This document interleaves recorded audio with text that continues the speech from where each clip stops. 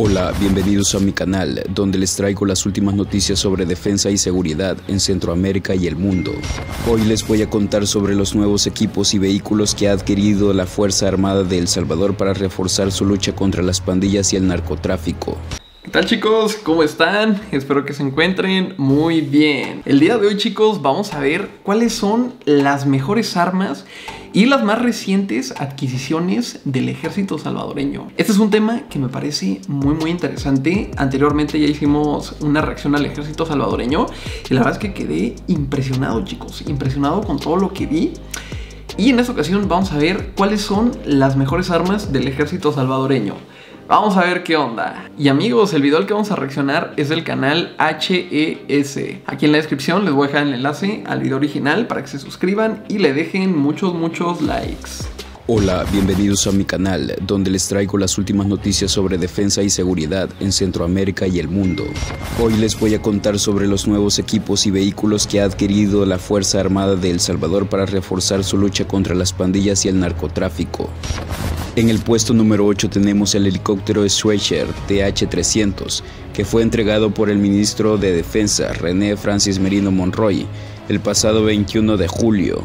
Este helicóptero es modelo de instrucción y adiestramiento de pilotos, con capacidad para dos tripulantes, un alcance máximo de 420 kilómetros y una velocidad de hasta 160 kilómetros por hora. Además, el Ministerio de Defensa repotenció otras dos aeronaves de este mismo modelo que ya formaban parte de la flota de la Fuerza Aérea Salvadoreña. En el puesto número 7 tenemos los drones tácticos Matriz 300 RTK que también fueron entregados por el ministro de Defensa junto con el helicóptero. Estos drones tienen un costo de 300 mil dólares cada uno y cuentan con un alcance de 15 kilómetros, cámara infrarroja, mecanismo de láser y grabación de video en 4K. Estos drones serán repartidos entre tres ramas de la Fuerza Armada, Ejército, Naval y Fuerza Aérea, para apoyar en las operaciones del Plan Control Territorial. En el puesto número 6. ¡Wow! 300 mil dólares cada dron. Wow, y están impresionantes. O sea, yo no sabía que habían drones para el ejército. Y ahorita que los veo, está muy impresionante, chicos. Muy, muy impresionante. Y tenemos los vehículos blindados compactos Plazanyago de fabricación israelí, que fueron recibidos por la Fuerza Armada de El Salvador el pasado 31 de marzo.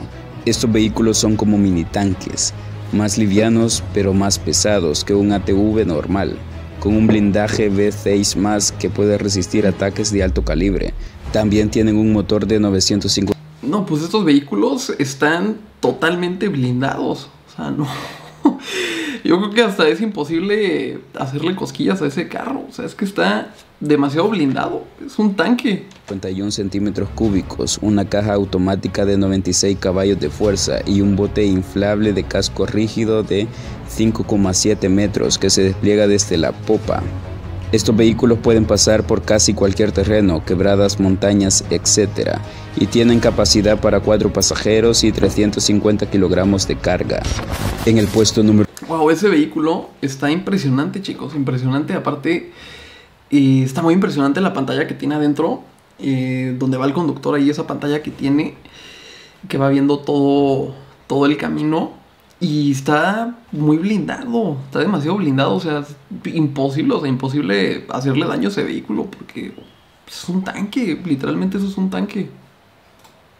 Número 5 tenemos los vehículos tácticos blindados Hurricane, de fabricación mexicana por la empresa WBA Blindajes Alemana.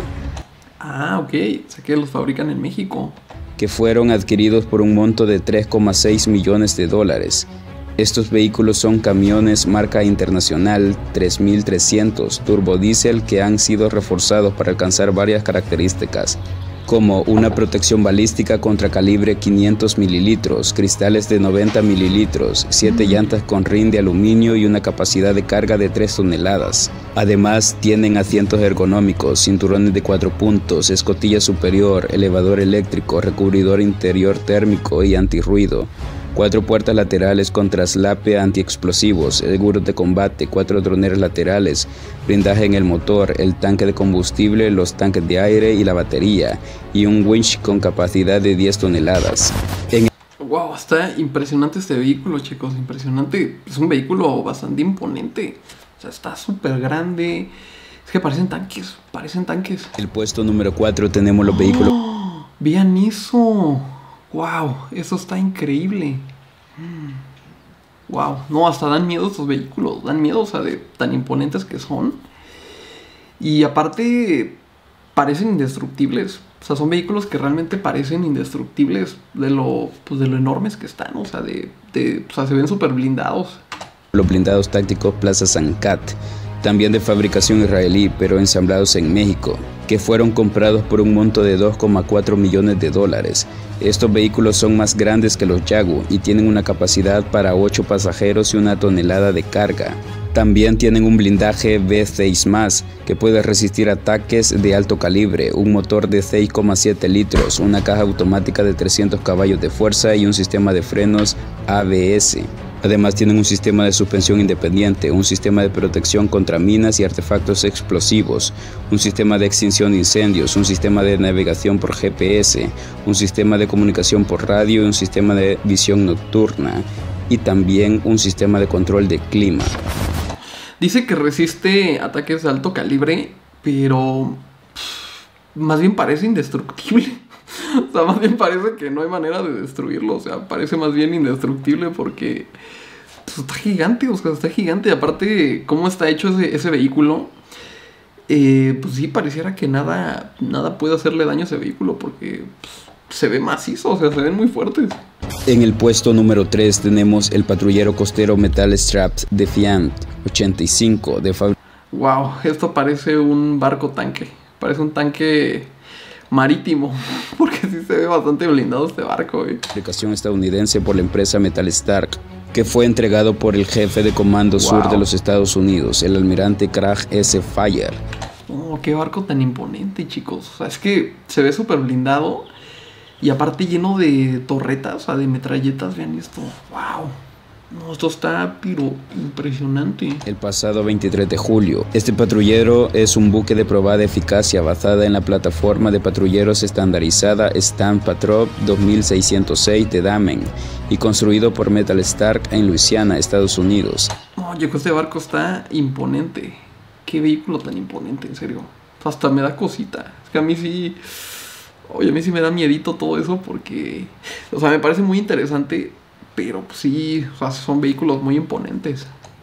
El diseño Stan Patrol ha sido ampliamente probado con múltiples embarcaciones matrices en servicio con ejércitos estadounidenses y extranjeros. El patrullero tiene una capacidad para más de 10 personas y puede permanecer en el mar durante largos periodos. También está equipado con un bote inflable de casco rígido de 5,7 metros, un módulo de lanzamiento para drones, una ametralladora, una cámara infrarroja y térmica y un sistema de conexión a centros de comando y control. El patrullero tiene una velocidad de 140 km por hora y un alcance de 1200 km y una autonomía de 10 días. En el puesto número 2 tenemos los vehículos aéreos no tripulados modelo Puma de fabricación estadounidense por la empresa Aerovironment, que fueron entregados por el ministro de Defensa Nacional de El Salvador, René Francis Merino Monroy, el pasado 4 de enero. Estos vehículos son pequeños aviones que funcionan con baterías y se lanzan manualmente. Wow, o sea, esto es un vehículo. Esto parece, o sea, parece hasta un juguete a simple vista, porque pues, está muy pequeñito. Wow, yo nunca imaginé que hubieran vehículos militares así de pequeños, de ese tamaño. Que digo, o sea, es un vehículo pequeño, pero pues, debe ser bastante poderoso. Pues, para ser del, o sea, para estar en el segundo puesto de todo este top, significa que es un vehículo, pues bastante peligroso. Yo me imagino. Su misión principal es la vigilancia y la recopilación de inteligencia mediante una cámara electroóptica e infrarroja. Cada sistema posee tres vehículos aéreos y dos estaciones terrestres. Estos vehículos pueden funcionar en condiciones climáticas extremas, alcanzar una velocidad máxima de 72 km por hora, un alcance de 16 kilómetros y una autonomía de más de 2 horas. Además, estos vehículos llevan una serie de sensores incluido un zoom óptico de hasta 50 aumentos para transmitir video en vivo a su estación terrestre. Estos vehículos serán repartidos entre las tres ramas de la Fuerza Armada, Ejército Naval y Fuerza Aérea. Y en el puesto número uno, un dron de capacidades estratégicas, el ANCA-S, el cual es la versión más avanzada del ANCA, que cuenta con un sistema de comunicación por satélite que le permite operar más allá del alcance de la línea de visión. Esto significa que el dron puede volar a gran distancia de la estación de control en tierra y transmitir datos e imágenes en tiempo real. El ANCA-S también tiene una capacidad de portar armas como bombas guiadas por láser o misil aire-tierra, lo que lo convierte en un dron de combate. El ANCA-S entró en servicio de la Fuerza Aérea de Turquía en 2017 y desde entonces ha participado en varias operaciones militares en Siria y Libia y el Mediterráneo Oriental, y ahora se encuentra en El Salvador. Si te ha gustado este video, no olvides darle like, compartir. Wow, chicos, la verdad que este video estuvo bastante impresionante. Todos los vehículos me parecieron bastante imponentes, bastante impresionantes. Lo que, lo que estoy viendo es que hay pues bastantes vehículos que son drones, o sea que son vehículos pequeños. Eh, por ejemplo, al principio de este video vimos un dron militar y al final también vimos un avioncito así chiquito que parecía de juguete, eh, pero muy poderoso, o sea, chiquito pero poderoso. Y de todos estos vehículos, yo creo que el que más me, me pareció interesante fue el barco el barco blindado. Porque mm, es un vehículo que realmente se ve bastante impresionante. Es un barco que se ve súper blindado. Y las torretas que tiene, o sea, es un, vehículo impresionante, impresionante. Eh, yo preferiría, la verdad, que no existiera, pues, que no existieran las armas. Es lo que yo preferiría. Yo preferiría que no fuera necesario tenerlas.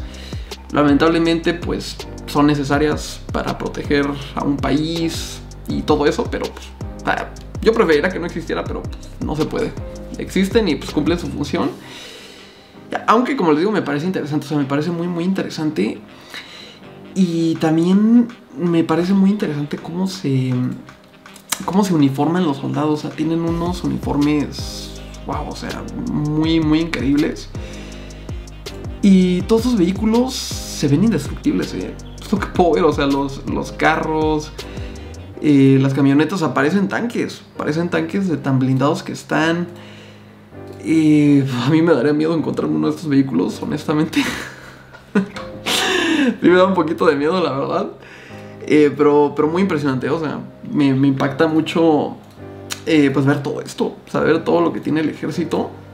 Es algo muy increíble, chicos, ¿verdad? Muy, muy increíble. Y pues, chicos, si este video les gustó, por favor suscríbanse al canal de HES, que este video le quedó padrísimo. Y de igual forma, si les gustó mi reacción, pues ya saben, dejen muchos, muchos likes. Y suscríbanse, chicos, para que les sigan notificando cada vez que subo un video. Recuerden, amigos, que muy pronto nos vamos a ver en Centroamérica. Eh, de hecho, ya en dos semanitas. En dos semanitas voy a andar por allá. Así que suscríbanse, denle like a la página si están en Facebook para que estén al pendiente. Recuerden que los quiero muchísimo y que siempre les deseo mucho éxito y mucha salud.